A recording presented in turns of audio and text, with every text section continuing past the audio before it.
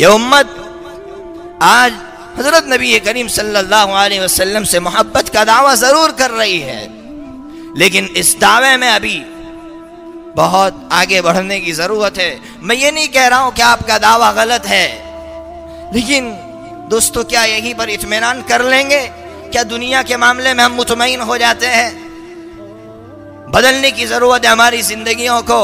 अभी मौलवी जावेद फलस्तीन के हालात सुना रहे थे। जब इन्होंने फलस्तीन के हालात सुनाने शुरू किए तो मुझे वो बात याद आई जो अलमुल अखबार ने जो शाये किए थे हालात, आज से तकरीबन छः महीने पहले मेरे सामने वो हालात आए और आँखें भर गई। फ़लस्तीन के हालात लिखे थे अलमुल में कि मुसलमान नौजवानों को ये यहूदी 400 फीट ऊपर ले जाकर हेलीकॉप्टर से नीचे पटक रहे हैं और पटकने के बाद ये जालिम मुसलमान नौजवानों को ये कहते कि बुलाओ तुम्हारे नबी को। अगर तुम्हारा नबी ज़िंदा है और तुम्हारी मदद कर सकता है। मेरे मुसलमान नौजवान भाइयों, कभी सोचो कि कल मैदान महशर में हौज कौसर पर अगर अल्लाह के रसूल सल्लल्लाहु अलैहि वसल्लम ने यह कह दिया कि वो जालिम यहूदी मुझे पुकार रहे थे। मुसलमान नौजवान से कह रहे थे कि बुलाओ तुम्हारे नबी को, अगर तुम्हारा नबी मेरी, तुम्हारी मदद कर सके, तुम कहाँ थे? तुम तो उन यहूदियों का साथ दे रहे थे। तुम्हारा लिबास यहूदाना था। तुम्हारा चेहरा यहूदियों जैसा था। तुम यहूदियों को मदद कर रहे थे। हमारा क्या हाल होगा मेरे भाइयों? इस मंजर को सोचिए। आज फलस्तीन की सरजमीन तड़प रही है।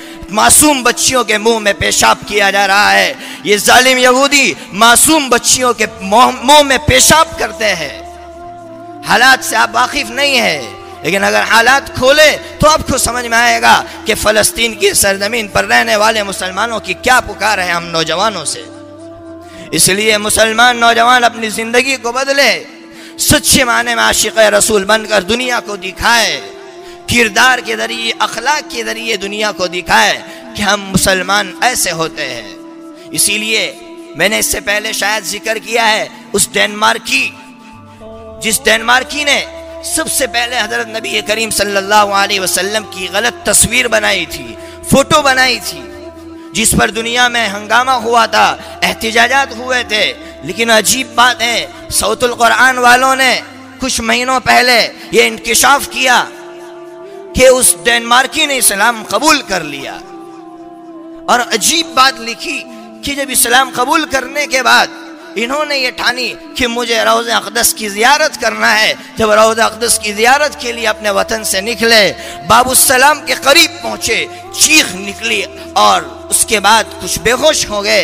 बेहोश होने के बाद लोगों ने ये लिखा है कि नीदा आई हाथिफ गैबी ने कुछ कहा कि आशिक रसूल बाबू सलाम पर पड़ा है, उसे बुलाओ और उसे इजाज़त है, यहाँ जियारत की। मुझे ये नहीं सुनाना है, मुझे आगे सुनाना है। इस मुसलमान से जिन्होंने अल्लाह के रसूल की तस्वीर बिगाड़ी थी, उनसे बाद में किसी बहुत बड़े मिस्री आलिम ने यह पूछा कि तुम्हें हिम्मत कैसे हुई? ये तस्वीर बनाने की हिम्मत तुम्हें कैसे हुई? मुसलमानों, सुनो। उनका जवाब उन्होंने कहा कि अगर ये मुस्लिम नौजवान अपना चेहरा न बिगाड़ते तो हम यहूदियों में ये ताकत नहीं थी कि हम आपके आका का चेहरा बिगाड़ सकते।